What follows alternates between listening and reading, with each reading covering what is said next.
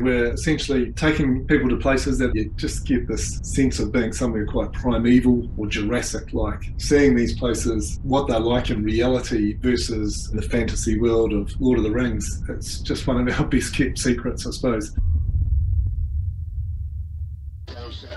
My name is Stephanie and I work for 57 hours. We believe in making the most of our outdoor time, and that's kind of where we get our name. 57 hours is the time from 3 p.m. Friday until midnight on Sunday that we have off. So we really like to make the most of that time and go on adventures, go outside. Of course, going to somewhere like New Zealand might take more than just a weekend, but we really truly believe in that time off other things that we really believe in is we really try to commit to our guides and our environment and sustainability. We have our 1% initiatives, and that helps 57 hours give back to guides, um, just like Daniel and Grace, and give back to our environment as well. So, with no further ado, I think we're going to jump right in. We have Daniel and Grace, they're joining us from their home country of New Zealand. Kia ora, everyone. It's great to be here and talk about New Zealand and hopefully inspire some of you to come over and visit us. And also, yeah, thanks to 57 Hours, it's a great opportunity for us to be able to connect with you through 57 Hours. You know, it's often really hard for us to let people know, you know, that we're here and what we're doing. So we're really excited about this collaboration with 57 Hours and looking forward to the summer ahead a bit about me. I'm actually one of the co owners of Hiking New Zealand. I first started with the company about 22 years ago, actually, as a guide, which was a really nice progression for me to the stage. Along with my wife, we were able to buy into the business and take a more sort of active role in steering the business where we wanted it to go. So, my role here, I design a lot of the itineraries. I'm very involved in the operational side of things with the guides, but I still love guiding trips myself. And yeah, I love sharing those stories or spinning yarns. And I'm a committed conservationist and care deeply about the land here. So yeah, I'd like to introduce you to Grace now. Grace has been with us for a few years now, and she's been a key part of our conservation team. And we're excited to be getting her back out guiding this summer. Yeah, kia ora yeah, I've been really excited to have the pivot into conservation work and and also back into this guiding work. It's been a few years. In these last few years, I've ended up going back to university to become a nurse. So that's been this whole other adventure. But I'm looking forward to the summer where I can have some other diversity come into my life. Awesome. Yeah.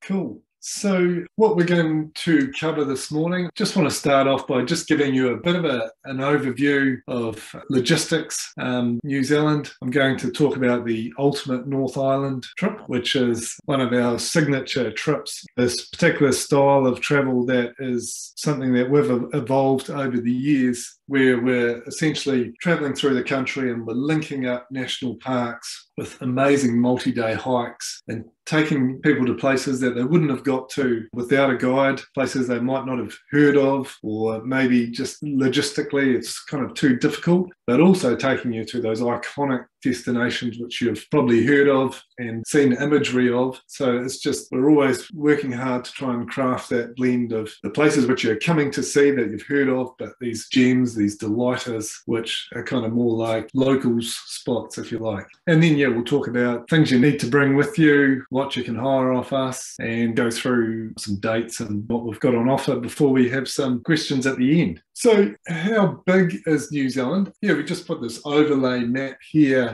of it in Europe. Yeah, we think of New Zealand as, you know, when we look at a world map, it's this sort of tiny dot down the bottom of the world, but it's actually still quite a, a sizable and vast country, or particularly when you're getting out and hiking in the wilderness. It's 1,600 kilometres long and 400 kilometres wide at its widest point, but quite sparsely populated. We've got a population of 5.1 million and of that 1.6 live in, in Auckland it's not hard to find big, wild, unspoilt, unpopulated, wide open spaces in New Zealand. New Zealand or Aotearoa, which is what it's the Māori name for New Zealand, and more and more is referred to as Aotearoa alongside New Zealand or just by itself. So that's pretty cool. Um, we're very kind of in touch with our indigenous language here. The translation of that is the land of the long white cloud. I actually really love this slide here on a classic swing bridge. But one thing that's unique about New Zealand is geographically, when New Zealand was formed, it broke off from Gondwana land like a raft out in the sea, and it's had 80 million years of isolation. So if you imagine the plants and animals that were on that raft when it broke off, they've had no, I guess, influence from other plants or species from other land masses, apart from things that got sort of blown onto it. So we haven't had mammals. So a lot of the plants and animals that you find here are endemic or they're you know, found nowhere else in the world. When you're hiking through like the Whirinaki forest, which Grace will take you through later, you just get this sense of being somewhere quite primeval or Jurassic like. So it's pretty pretty cool. And a third of New Zealand is actually protected as national parks and or reserves and administered by the Department of Conservation. And with that goes a vast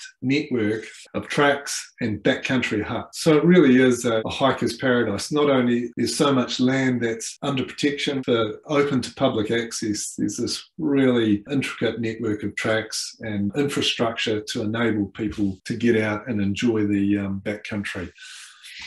In terms of getting around in New Zealand, you know, we're only a small population, so we don't have a big infrastructure of public transport. So it is quite difficult to get to some of these remoter areas and our national parks if you're relying on public transport. So you really need to be kind of independent in that sense, have transport or join a tour and get a guide so you can get out to these really special places. So our landscapes are really varied in New Zealand. And I think for touring around, that's what makes it really cool. You know, you can be hiking in this subtropical rainforest and then come out back in the bus and drive, you know, three hours down the road and you're in the central plateau, a volcanic plateau, which is this lunar like landscape, almost desert like. I always say to people, enjoy the hiking we're out in the wilderness, but enjoy the journeys between these destinations because it's a beautiful country for doing road trips and you won't get bored because the landscape changes so frequently. The best time to visit New Zealand? Well, I mean, any time is better than no time, but most popular months for hiking are coming in late October, early November. So it's our spring and right through to late April into our autumn or fall. And we're a reasonably temperate climate. So the winters aren't that harsh, but up in the mountains where some of our trails are, they do get um, restricted by snow and the passes uh, become you know, too difficult to cross in those winter months between you know, June and sort of into early October. But there are other regions that um, are less affected, the more lower lying coastal regions. Yeah, I mean, I can't stress enough, I suppose, if you're coming to New Zealand, just get off the beaten track, you know, take the back roads, meet the locals, even better, go with a guide so you don't miss what you've come to see. New Zealand is a you know, very diverse country. It's not always easy, I suppose, to know, you know, where to go when you're somewhere new. It's worth making an effort to turn off the main drag and um, go for a real explore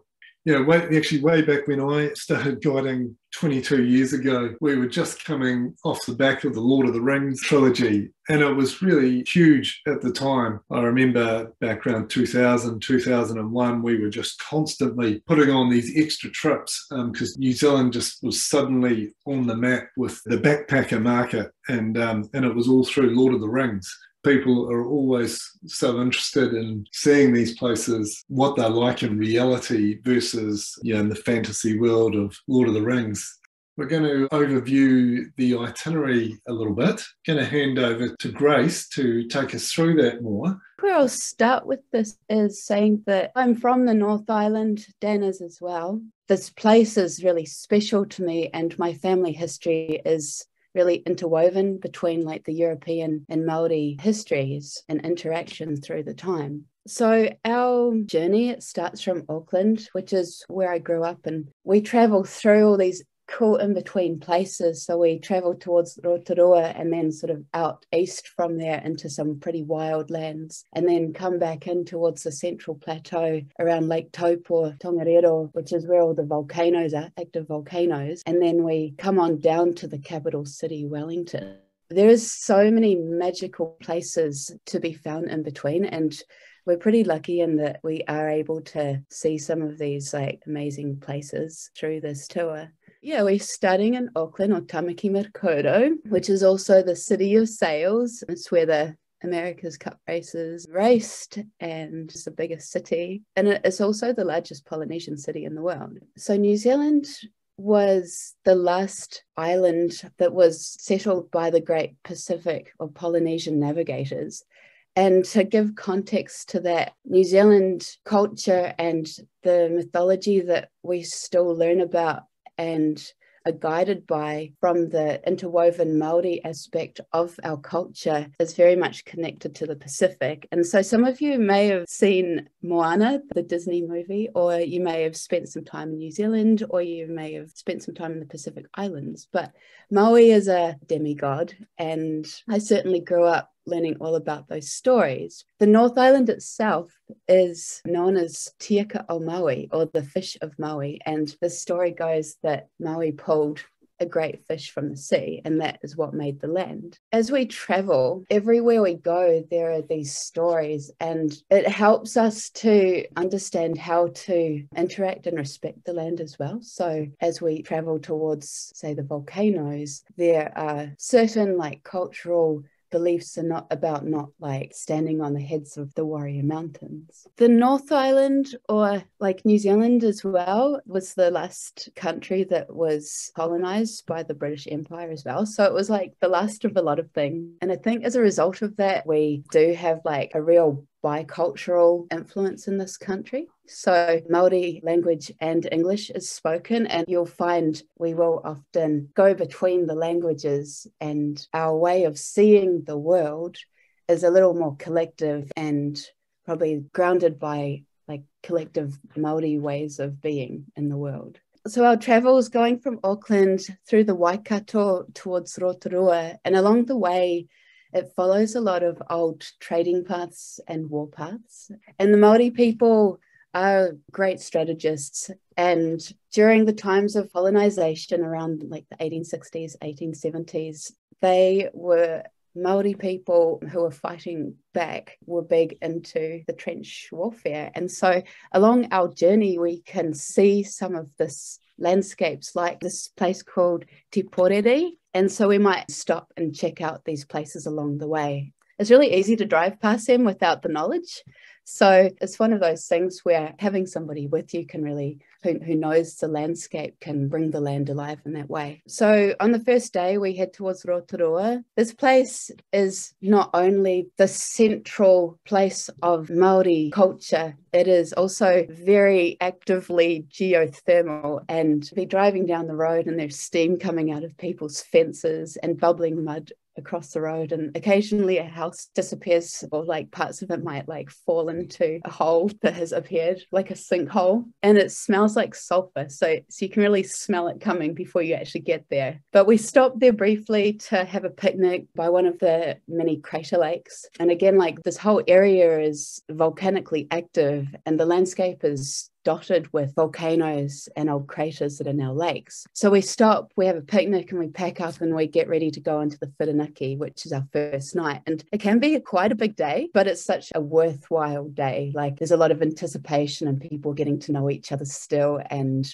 Rotorua itself is is a real tourist hub, but not very far away at all, is the Whirinaki. And we start up in the subalpine, which is these trees that look like truffula trees, like from Dr. Seuss and all these big old trees like this in the picture here. And we sort of descend down. And before guiding with Hiking New Zealand, I'd never been out to this area. I'd known about it as one of these far flung places and as a place that was steeped in a lot of natural history and also like recent, like environmental activism history in a bid to protect from deforestation. But yeah, coming out here, it feels so far away and so peaceful, and it's full of birds and full of massive trees and all this undergrowth, hundreds of different types of ferns and lichens and spleenworts and flowering trees and vines and epiphytes that all hang in different ways from all these trees. So it feels very subtropical. Yeah, like a fairyland in some ways. Yeah, further to what Grace was saying, on our trips, I suppose we're always trying to, when we design our itineraries to try and get you into the wilderness, to get you hiking as soon as possible. And Grace and I, while doing this webinar, it was pretty cool to just share some experiences of people's reaction on that first day of the trip. You know, they might have only arrived into the country the night before and then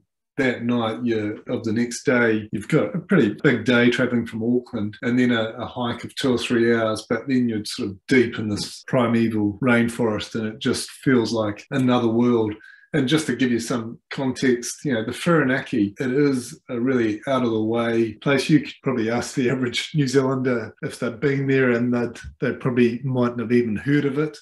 It's just one of our best kept secrets, I suppose yeah, pretty cool at the end of that first day, and you're sitting around the fire and just seeing people's reactions of it, just all sort of soak in this environment that they're in. Yeah, it's very rewarding as a guide.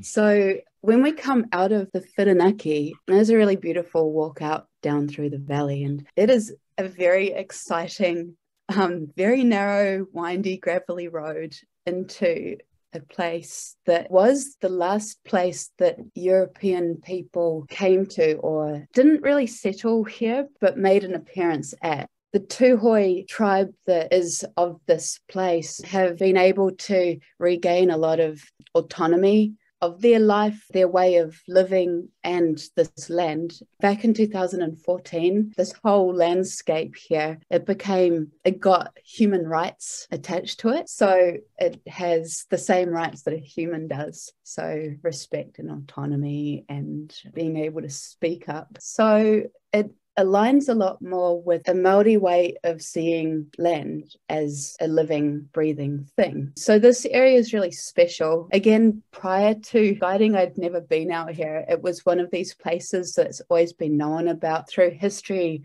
Yeah, the journey in itself is like its own experience for sure. But we come into this beautiful spot called Lake Waikaremoana. And usually in the afternoon, we go on a little hike around and check it out a little bit. But something that's really like notable for me about this area is just how incredibly peaceful it is. It's like there's a spirit in that air.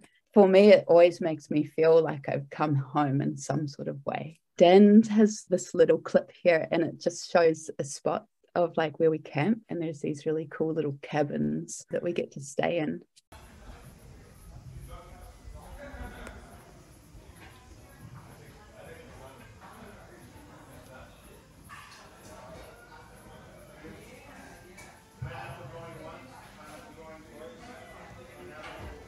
This is one of the many beautiful places that we might go and check out. Again, this whole area is really wild. We spend a couple of days here and the landscape is again really different. So the forest has changed. It's not quite the same as the Whirinaki. It's a little more scrubby and a little less like old growth forest. And that's just the landscape itself. And then you can see on this photo here, there's this bay that goes in and then this big ramp, and that's called the Panekiri Ridge. And we actually go up there. And what makes it really a special is not only that, again, compared to the Whirinaki or anywhere else that we've been, the rock type is limestone and it's been pushed up from the ocean. So, like all the things that have died and, like, you know, gone to the sea and turned to rock. And so there's cave systems all through here. But as you go up this ridge, the forest goes from the subtropical podocarp forest and then turns into beech forest, which is a whole different type of forest. This would be like the podocarp forest with all the epiphytes and the vines and the ferns and everything like that. So that's lower down. And then going up, which sometimes can be a little bit misty like this, it turns into beech forest. And beech forest in the North Island is, is actually not very common. We do find it again in the Central Plateau in Tongariro, but it's otherwise like more predominant in the South Island because they prefer like higher and drier landscapes. I think these photos of the mist are really appropriate for Te Urewera. So Tūhoe, the name of that also means children of the mist. Beautiful Day to be up here. It really is. Sometimes a perfectly blue sunny sky just washes everything yes. out. I like cloud action. Yeah.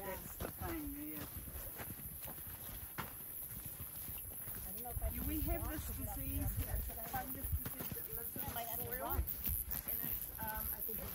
So I believe some of these these trees here they were burnt in a bit of a fire at some point in time, and then it's all regeneration back up around them. But this is this is what we get to travel through, and I guess it shows like a good indication of the New Zealand track as well. Yeah, we we definitely experience like a bit of a range of either well maintained and also like not. So it, it creates a cool adventure in that way on the way up Panekiri Ridge, there's all these places where you look out. It's amazing, and you really do feel like you're at the top of a cliff. My most favorite part of this part of the country is that coming down from the ridge, there is this cave system. And after a hot day of hiking and feel like you've gotten a little bit sunburnt, there is this whole area with these little trails through it of these nice, shady, cool, slightly damp caves just to travel through. I think the other thing about the caves is it was like a place that, um, as far as outlaws go, it was an area that a lot of them would go to and like hide in. You can see that low grassy. That's, That's all that It's like the pampas, beach and stuff. yeah, the pampas grass. I thought it was down in there. Yeah. So again, we're still traveling through these all these like secret stash locations of the central North Island. And we return back towards Rotorua en route to Whakapapa. And for some people, that's a really funny sounding name, but essentially it just translates to genealogy. That is what that word means. So on the way, we do get to stop and check out a bit of bubbling mud and hang out in some of the hot springs that are free. And if you know the places to go, then it's awesome. And a lot of people don't really go there. So we often just have like a little space to ourselves. And it's a really nice way just to, yeah, soothe the muscles for the next round. So there is hot springs and then Lake Taupo as well as we journey forward. Oh, there's also the Huka Falls. Sometimes we'll just stop and go for a wander around here. And this is pretty a pretty epic river system. This all this water comes out of lake taupo which is this massive crater lake. And it's also the first recorded eruption in the world. I think it happened about 186 ad and the records are in like japan and greece and all over like all up in the north because they lost all their sunlight for about a month because of this massive explosion. The crater like it's geothermal so the water's not all that cold so it's amazing to have like an evening swim and a bit of a picnic on the side. And i particularly like this. So this is um, this is at Taranaki Falls. Most people have heard of the Tongariro Alpine Crossing, which is a day hike, very famous and an incredible hike, which we come on to from yeah a bit of a, a back door, I suppose. But um, there's also the amazing little shorter hikes, and we do this one on the day that we start our multi-day hike, and it's Taranaki Falls.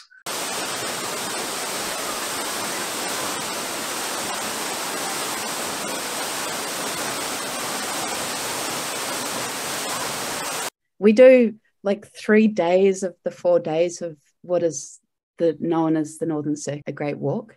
And we start out from Whakapapa, where we stay at this really nice hostel called the Scotia House. So we like start there and go out, and then we end there with, you know, some beers and a nice restaurant meal at the end, which is always pretty fun. The landscape changes so much. So this is the Rangipo Desert here, which is like volcanic plains. And this is all native tussock lands, tussock grasses. And the first day, it can be so hot and people inevitably get burnt. The burn time in New Zealand's like five minutes because we don't have much of an ozone layer. So it can be a bit of a challenge, but it's beautiful. And we often get to Waihohonu hut and the feet are a bit sore and the sunburns might be giving a bit of grief. But this hut here is my favorite thing about this area here is it's surrounded by beech forest and just down below is this amazing river to swim in and just like cool down after that day and i always camp down there and anyone else is just you know if you wanted to take a tent and a lot of people do just like camp down by the river the landscape is pretty rocky so all of these volcanoes through here are like truly active they are well monitored by the GNS. So it's like the Geologic science surveying company.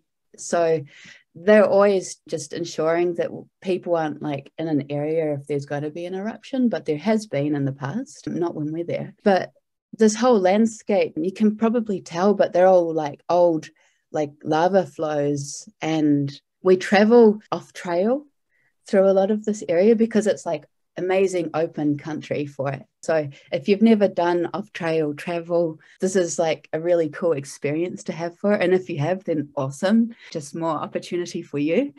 We travel around the mountains. It's the Mount Ngauruhoe covered in snow there, which is also Mount Doom to anyone who's super into Lord of the Rings. So this whole area was like part of that, that part of the Lord of the Rings there. We do stay in another hut or camp.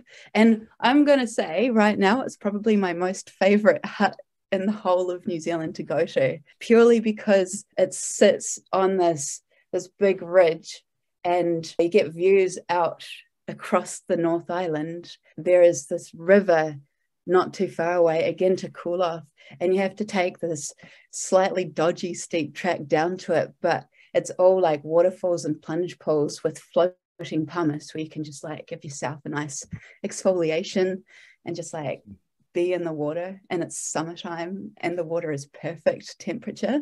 And then coming back to the hut, every single time I've been there, I've made friends with the other hikers. Like, ended up making these friends. We make this like big group meal and then end up sharing it with all these new friends that we've made.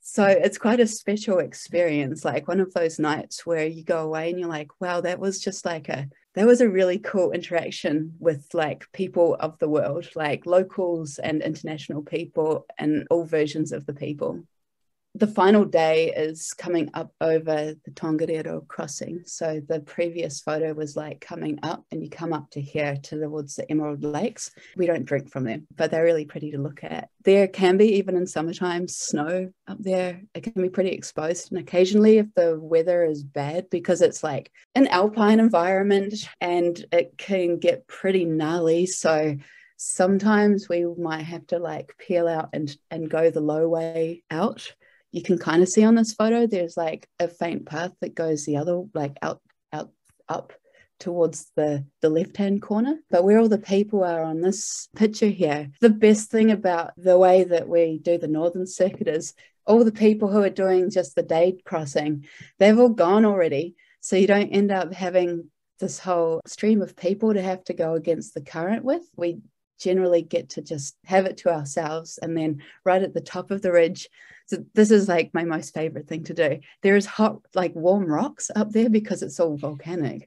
So you just sit on a warm rock right on the ridge and eat a really good sandwich, usually a bacon sandwich for me. And it's pretty rough terrain. So you have to be like prepared for it. So good hiking pole, good boots. Ngauruhoe, which is Mount Doom and the red so it'll be oxidization from all the various like minerals like iron. And that's why we get all those interesting colors. It's just like oxidization of minerals, various types of minerals. Beyond it is Ruapehu, which is another active volcano and has a bunch of ski fields on it and glaciers as well which I think is pretty cool. It's like an active volcano with glaciers. They do erupt. So I remember in 97 when Ruapehu was erupting and they had to get all the people in the towns all surrounding this area evacuated from their homes. And there is a story that there was a scout group that were a little bit behind and they were up in that crater basin and were pretty much just like hanging out like hiding behind big boulders. And they all like fine they all survive yeah pretty scary but that won't happen to us. The technology these days is pretty good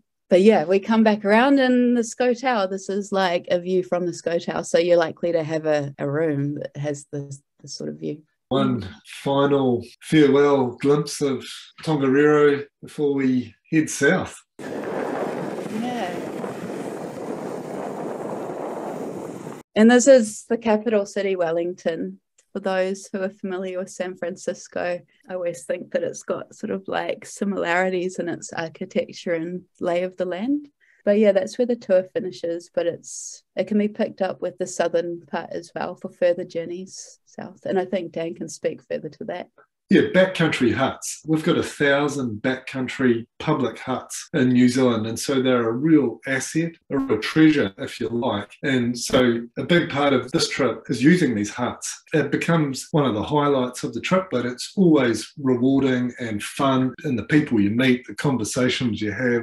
So our huts, a lot of them sort of originated from huts that were built by the government for hunting way back in the 1950s.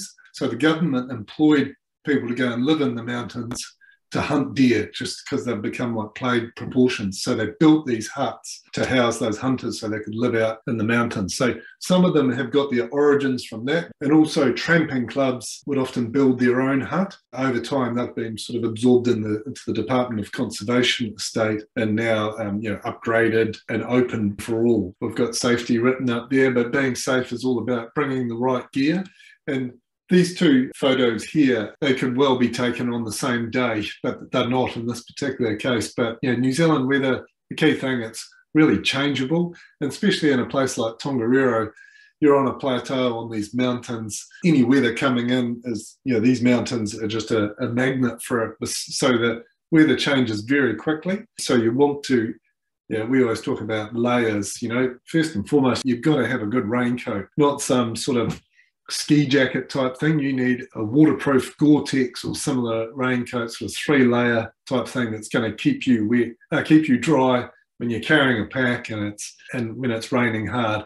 And underneath that, you need a, a layering system of yeah, something that's thermal, so not cotton. Merino wool's really good, or also you know something synthetic like polypropylene or something like that. But but then you can see, you know, you could be like that in the morning and then in the afternoon you're getting sunburn. So it's being prepared for those four seasons in one day. And we'll take you through the needed gear that you need to enjoy a hike um, with us in New Zealand. And there's a bit of a, a list there we actually yeah, hire out some of those bigger items. Often people are traveling off to other destinations afterwards, like Asia or something where they don't want to be carting around sleeping bags and all that warm gear. So it's no problem to hire equipment off us as well. We travel with a customized trailer, which has got space for the luggage, which is all sort of locked away. So you can leave your stuff that you don't need for the hike locked in there. So you, you don't need to worry about that. Food, our guides do a big shop before the trip, and then during the trip, we're we're replenishing. So if you've got dietary requests, just let us know and your guide will will just check in with you. And then when they're doing those shops, they'll just make sure that they're getting appropriate food for you. Yeah, and very importantly, New Zealand's a land of birds. There are no snakes. Sandflies that bite, and I did notice a, um, a question about that in the comment about mosquitoes generally it's the sandflies, the little black flies that annoy us. You know, sort of further north in New Zealand, you get a few mosquitoes, but generally they're not too bad. So your skills and your prerequisites, you know, we don't say that you need to be an experienced hiker because you know we've we're providing a guided guided service. We want to you know make this accessible for a range of people. So you know, typically on a trip we would have people that are quite experienced and would have people that are quite new to hiking. So we can make that work Obviously, if you're new to hiking, you need to be fit enough to walk on average of four to five hours a day. But bearing in mind that the, the longest day you might be on your feet walking for up to eight hours. And the terrain is, it's not all well groomed trails. It's, you're going to be walking over tree roots, rocks. We recommend using a walking pole to give you a bit more confidence there and you're going to have a backpack on. We say carrying a 10 to 12 kg backpack, you're not going to be carrying that weight of backpack all day, every day. It's just uh, the start of a, say, three day hike when we're all loaded up with everything we need. That's when our packs will be at their heaviest. And then, of course, as we work through our provisions and food, it, it gets lighter. And our guides always go through exactly what you need um, you know, the essential items that you need in your pack before we set off, just to make sure you don't you know, start a hike with way more weight on your back than what you need. But most importantly is having um, yeah, a great attitude. And environmentally and sustainably, I just wanted to introduce you to the Tiaki Promise, which is something, as a tourism operator, something we abide by and invite all our guests to um, buy into as well. This is a sort of a collaboration, I guess, between yeah the people of New Zealand and Tourism New Zealand just about traveling responsibly and sustainably, I guess, in New Zealand. And the promise is that while traveling in New Zealand, I will care for land, sea, and nature and tread lightly, leaving no trace. I'll travel safely, showing care and consideration for all, and I'll respect culture, traveling with an open heart and an open mind. Yeah, we think that's really cool. And that just sort of really sums up how we travel and how we conduct ourselves when running our trips just sort of touching on some details here, we've talked about a trip called the Ultimate North Island. There's also another North Island trip, which is a hotel-based trip. So it's a, so instead of doing the multi-day hikes, you stay in hotels in the evening and do a, a series of day hikes, as we follow a sort of a similar route through the country.